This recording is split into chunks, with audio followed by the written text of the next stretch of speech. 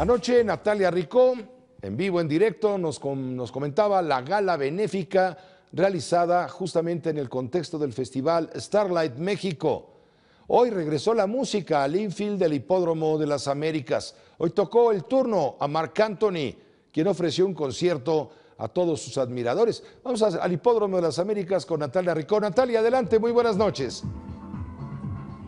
Muy buenas noches, Pepe. ¿Cómo estás? Un gusto saludarte, congelándonos nosotros un poco, pero con la mejor actitud la verdad. Te platico un poco de lo que sucedió ayer en la gala. La verdad es que fue un éxito rotundo. Nos comentaba hace rato eh, Sandra García San Juan, la presidenta de Starlight, que bueno, en realidad todo lo, bueno, la, cifra final de lo que se recaudó nos la van a dar el 12 de marzo, que es el último día de Starlight. Sin embargo, nos dio un adelanto y dijo que nada más de la subasta se lograron recaudar 4 millones aproximadamente de pesos. Todo esto para ayudar, imagínense, a tanta gente que lo necesita, a construir escuelas. Entonces, realmente superó las expectativas y es una gran noticia.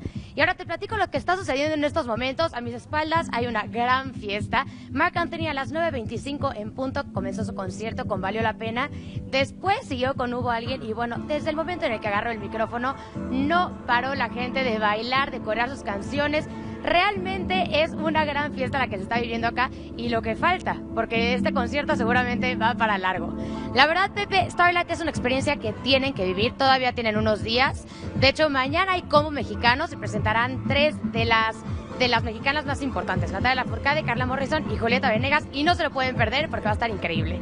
Gracias, Natalia. Buenas noches. Muy buenas noches, Pepe, gracias a ti.